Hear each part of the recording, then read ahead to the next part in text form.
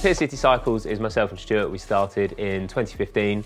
Um, at the time, Stu and I were working at a BMW dealership. Shortly after we started, the R9T came out, and basically both of our passions fell together and um, really ignited our fire for wanting to customise BMW bikes. The brand itself, BMW, I very much fell in love with it when I started working for a dealership down in the south coast.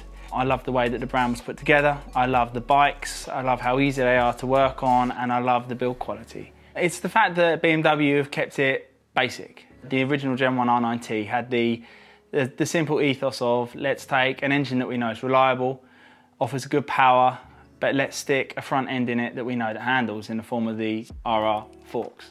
So as well as keeping it back to basics, they wanted to keep it with the old school aesthetic. The R9T lends itself perfectly because of its basics to be customised. It's a real good blank canvas. We wanted to go up and do some of the bike shed shows and stuff like that and hang out in there. The custom cafe scene was really sort of exploding at the time. When the R9T uh, hit the market, it combined all of the, the fun and the handling and everything we liked about all of our sports bikes and sort of like fun riding with the side of sort of classic heritage customizable side of the bike shed. So you kind of go out and really enjoy a ride, but kind of also turn up at the cafe and look cool and, and hang out and, and build something bespoke and different to everybody else. So with the R18, obviously it lends itself to a totally different profile to a lot of the bikes that we tend to build. This really gave us a chance to play with something that was a cruiser bobber style. It was something completely different, um, totally different sort of style of uh, frame and everything else, which, it, you know, it brought up new challenges, it's got fly-by-wire. There's, there's a lot of stuff that when you sort of really look at the, the breakdown of how the bike is built, it's put together very differently to the R9T, even though they're both sort of heritage range. So it gives a, a chance to get our creative juices flowing. But it's been real, it's been a challenge, but it's been a good challenge. We like to push ourselves, and obviously a whole new model gives us a very good opportunity to, to push ourselves into something completely different.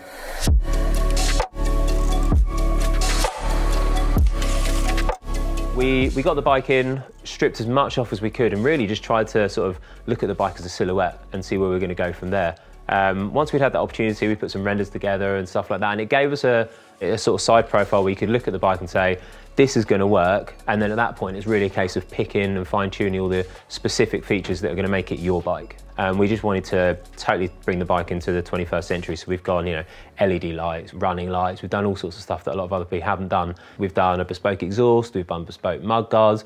All of these parts are basically put the PCC stamp on it. You know, the stuff that you can't just grab off the shelf. That's kind of the, the big wins for us. You know, the stuff we really enjoy doing is getting into the, the fabrication room and grinding and making and doing stuff that's different to somebody else's R18. And for us, we just wanted to go, let's go totally different. We want to go sort of neo, we want to go as modern as possible. You know, it's obviously a, a clear heritage look of the bike, but in going heritage the same as everybody else, we wouldn't necessarily have something that set ourselves apart. So we went, let's go modern with it. We wanted to utilise the fact that we could take some weight out of it and give it sort of a better on-road presence. So we wanted to work on the rear end and the exhaust due to the fact that obviously a lot of the weight is in from the tank backwards with the rear mudguard, the seat. My favourite option, 719 parts, are the wheels. Like, no hesitation there. The wheels look fantastic. Like, from the fork cover caps to the bar ends, the cylinder covers in the front, what I call the front engine chest plate, they're very well made, excellently machined parts. They look fantastic, but it's the wheels that are the top of the list for me. They just really sign off the build and just give it that really stand out from the crowd feature that it deserves really.